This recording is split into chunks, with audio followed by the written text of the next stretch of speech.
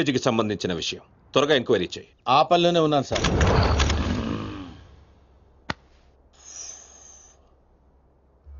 దీపు!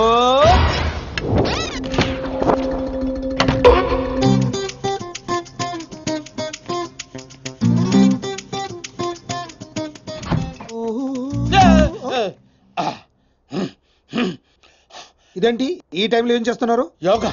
ఈ టైంలో? నాకే టైంలో మూడు వస్తే ఆ టైంలో చేస్తా. ప్రాబ్లం ఏం లేదుగా? ఏ ప్రాబ్లం లేదు. అయిపోయిందా? అయిపోయింది. పడుకోండి. మీరు కూడా పడుకోండి.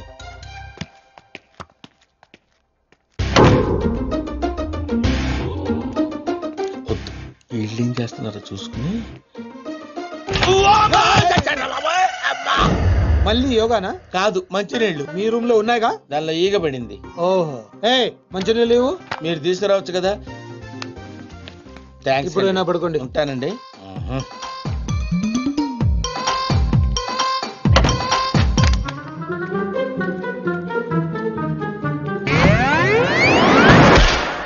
ఊరుకో సీను. ఎవరైనా చూస్తే? సంవత్సరం నుంచి ఏదైనా చూశాడా? ఎవరిది? పిల్ల అనుకుంటా. పిల్లే. ఈ సరసాలన్నీ తర్వాత. ముందు మన పెళ్ళి సంగతి ఏంటి? అవతల మా అన్నయ్య దుగ్గల కొడుకుతో పెళ్ళి ఫిక్స్ చేశాడు. తెలుసా? తెలుసు. అందుకే అంత హ్యాపీగా ఫీల్ అయ్యాను. హ్యాపీగా ఫీల్ అయ్యాను. దుగ్గాల సాబ కోడలయ్యే అదృష్టం ఎంతమందికి ఉంటుంది అంతకంటే ముందు నా కడుపులో పెరుగుతున్న బిడ్డకి తండ్రి నువ్వేని మర్చిపోవద్దు. తండ్రి?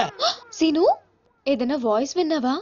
లేదే బంగారం. మనకి పుట్టబోయే బిడ్డ దుగ్గల వంశానికి వారసుడు అవుతాడే పిచ్చమొద్దు నీ డెలివరీ ప్రపంచంలోనే బెస్ట్ హాస్పిటల్ అవుతుంది. ఖర్చంతా వాళ్ళదే. వాడి పేరు విజయ్ దుగ్గల్ అని పెట్టు. ఫంక్షన్ ఖర్చు కూడా వాళ్ళదే. ఇదిగో అన్ని ప్రపంచంలోనే బెస్ట్ స్కూల్లో చేర్పించు. బెస్ట్ లైఫ్ బెస్ట్ క్లాస్ ఖర్చంతా వాళ్ళది. కరెక్ట్ ఒక తండ్రిగా నాకు అంతగా నీకేం కావాలి దీపు? కరెక్ట్ కదా? కడుపు నీది ఖర్చు మాదే. మరి సీను? ఆ.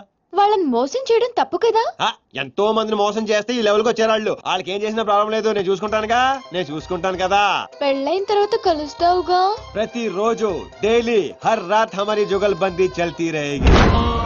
అవును.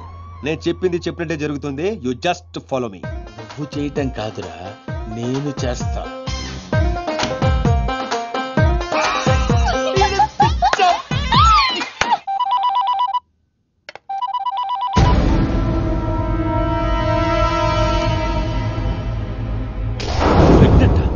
అమ్మాయిని మన పిల్లోడు చేసుకుంటే పిల్లతో పాటు పిల్లోడు కూడా ఫ్రీ సార్. విశ్వాస్! నిజం సార్. పిల్లోడు పేరు కూడా ఫిక్స్ అయిపోయారు. విజయ్ దుగ్గలంట నువ్వు చెప్పేదంతా నిజమేనా? ఇంకో పెద్ద నిజం ఉంది సార్. వాడి చెల్లెల్ని ప్రేమించింది వీడి చెల్లెల్ని ప్రెగ్నెంట్ చేసింది ఒక్కడే సార్. విశ్వాస్! నన్ను నువ్వు చాలా కన్ఫ్యూజ్ చేస్తున్నావు. నిన్ను చంపేస్తా. అక్కర్లేదు సార్. నేను చెప్పింది నమ్మకపోతే నేనే చచ్చిపోతాను. ఆన్ ది స్పాట్ సరే నేను వస్తున్నా. నువ్వు అక్కడే ఉండు. ఆ.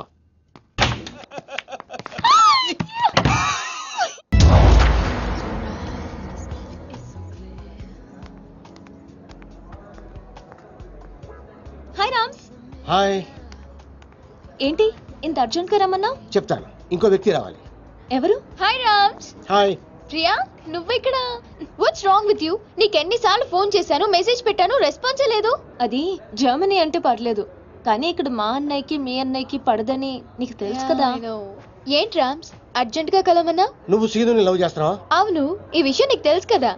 మరి నువ్వు? రామ్స్ నీకేమైనా పిచ్చా? ఇది లవ్ చేయడం ఏంటి? ఆగు. చేస్తున్నావా లేదా? అవును. అయ్యో mad you know I love him what's wrong with you so what one second you always known that I love him just fighting with me on this just because he said that he loves you ఆగండి ఆగండి ఆగండి ఆగండి. ఇందుకే మిమ్మల్ని పిలిచింది. నిన్ను love చేస్తాను నీతో చెప్తున్నాడు. తన్ని లవ్ చేస్తాను గేమ్ ఆడుతున్నాడు. మీ అన్నయ్య గంగులో చేరి వాళ్ళతో గేమ్ ఆడుతున్నాడు. వాడి లైఫ్ని రిస్క్ పెట్టుకుంటున్నాడు. మీ ఇద్దరికి ఒక విషయం తెలుసా? అసలు వాడు ఫ్యాషన్ ఫోటోగ్రాఫరే కాదు. వాడు డానైపోయిన ఆశతోటి పదిహేను సంవత్సరాల క్రితం మా ఊరిది పారిపోయి హైదరాబాద్లో తేలాడు. వాడి ప్రాణానికి ఏమైనా ముప్పు వస్తుందేమోనని నాకు భయంగా ఉంది. అంతేకాదు వాడి గురించి నిన్న నాకు నిజం తెలిసింది. మనం ఇంకొకరు చూసి ఇంప్రూవ్మెంట్ లేకపోతే ఆపరేషన్ చేద్దాం. Okay doctor. ఆపరేషన్ అంటున్నారేంటి? నాకేదో భయంగా ఉంది. నువ్వే కంగారు పడుకో నేను చూసుకుంటాను. ఇలా ఎంత మందిని చూసుకుంటున్నావు? మీరెందుకు వచ్చారు ఇక్కడికి? వాళ్ళు రాలేదు. నేనే తీసుకొచ్చాను. ముందు వాళ్ళు అడిగిన దానికి సమాధానం చెప్పు. ఎవరు వీళ్ళు? చెప్పడానికి ఇది టైము కాదు ప్లేసు కాదు. ముందు అలా దీనికి తీసుకెళ్ళు. మేము వెళ్ళడానికి రాలేదు. ముందు మాకు సమాధానం కావాలి. తనెవరు? ఇంకో లవరా? ఏ ఆన్సర్ లేదా? చెప్పు సీను. ఏం చెప్తాడు? నాతో లవ్ అన్నా? నాకు తెలియకుండా నా ఫ్రెండ్ని లవ్ చేస్తున్నా చెప్పు. ఇప్పుడు మా ఇద్దరికి తెలియకుండా దీంతో కాపురం చేస్తున్నావా? సీను ఏంట్రా ఇదంతా? ఊరుకో అక్క. అక్క? అక్క? అవును. అంతకంటే ఎక్కువ. ఆ రోజు ఊరు వదిలి పారిపోతున్నా నేను రైల్వే స్టేషన్కి వెళ్ళాను. అక్కడి నుంచి ఎటాలలో తెలియని నాకు బాబాయ్ వాళ్ళు కలిశారు. ఏంట్రా సీను? ఈ టైంలో ఇక్కడేం చేస్తున్నావమ్మా? హాస్టల్లో ఉండడం ఇష్టం లేక ఇంట్లోంచి పారిపోయి వచ్చేసాను బాబాయ్. నాన్న సీనుని కూడా మన ఊరు తీసుకెళ్ళిపోదా నాన్న. బాబానికి అప్ప చెప్పనంటేనే వస్తాను. బాబాయ్ వాళ్ళ సొంత ఊర్లోనే సినిమా హాల్లో ఆపరేటర్గా జాయిన్ అయ్యాడు. డాన్సీనా అవును సార్. రిజిస్టర్లో అలాగే రాయమంటారా? అలాగే రైట్ నన్ను కూడా ఆ ఊరు స్కూల్లోనే జాయిన్ చేశాడు. వాళ్ళు నన్ను సొంత కొడుకు కన్నా ఎక్కువగా చూసుకున్నారు. అక్క. ఏంట్రా? నేను టెన్త్ క్లాస్ పాస్ అయ్యానక్క. నేను టెన్త్ పాస్ అయిన తర్వాత ఒక రోజు మా బాబాయ్ మా ఊరు తీసుకెళ్ళాడు. వాళ్ళు ఇక్కడ ఉండట్లేదండి. ఖాళీ చేసి ఎప్పుడో వెళ్ళిపోయారు. సీను పద. బాబాయ్ పనిచేసే సినిమా హాల్ ఓనర్ కొడుకు నర్సింగ్ మాచిరాజు మంచి స్నేహితులు. ఒకరోజు నర్సింగ్ మా అక్కని చూశాడు. వాళ్ళిద్దరి మధ్య పరిచయం పెరిగి అది ప్రేమగా మారింది.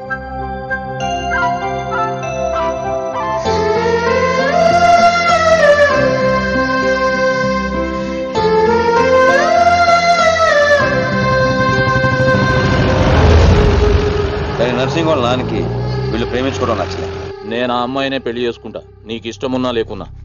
వాడు బాగా ఇష్టపడ్డాడు కదా? ఒప్పుకోండి. నేనేమన్నా కాదన్నానా? దాన్నే చేసుకో. నర్సింగ్తో అక్క పెళ్ళి సంగతి తెలిసిన మేము అందరం ఎంతో ఆనందపడ్డాం. కొడుకు ముందు పెళ్ళి ఒప్పుకున్న పాండురంగారావు వెనకాల మాచిరాజుతో కలిసి కుట్ర పన్నాడు. పెళ్ళికి ముందు రోజు రాత్రి. లక్ష్మి! నర్సింగ్ వల్ల నాన్న వాడి ముందు పెళ్ళికి ఒప్పుకొని వాడి వెనకాల ఏదో కుట్ర పన్నుతున్నాడు. రేపు పొద్దున్న మీ పెళ్ళి చెడగొట్టడానికి ప్లాన్ చేశాడు. కానీ నర్సింగ్ ఈ రాత్రికే పక్క ఊరి రామాలయంలో పెళ్ళి చేసుకుంటాడంట. అర్జున్కు తీసుకురమ్మని నన్ను పంపించాడు. పద పద.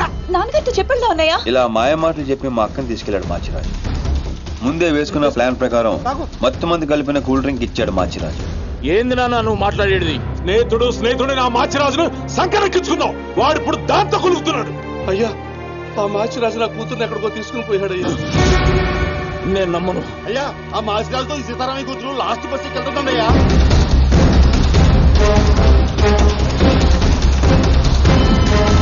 రేయ్ మాచిరాజు. సారీ రా తప్పు అయిపోయింది రా నన్ను క్షమించు తప్పయింది మీరిక్కడ అక్కడ రామాలయంలో పెళ్ళన్నారు! విను. లక్ష్మి తప్పేం లేదురా. నేను బలవంతంగా తీసుకొచ్చాను. లక్ష్మి మంచిది తనని కొట్టద్దు. కొట్టక ముద్దు పెట్టుకోమంటావా? నేను చెప్పే.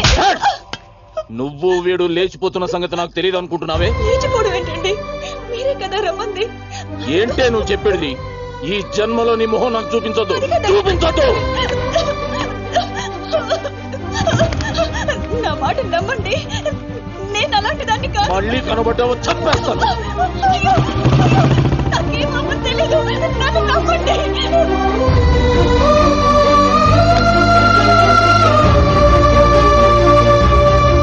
జరిగిన అన్యాయం తట్టుకోలేక మా అక్క తనతో పాటు తన కడుపులో పెరుగుతున్న బిడ్డను కూడా చంపుకోవాలనుకుంది.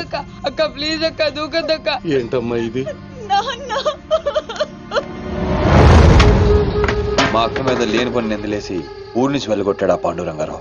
ఈ కుట్ర వెనకాల ఉన్న మాచిరాజుకు చెప్పుడు మాటలు విని మా అక్కని అన్యాయం చేసిన నర్సింగ్ బుద్ధి చెప్పాలని ఆ రోజే డిసైడ్ అయ్యాడు.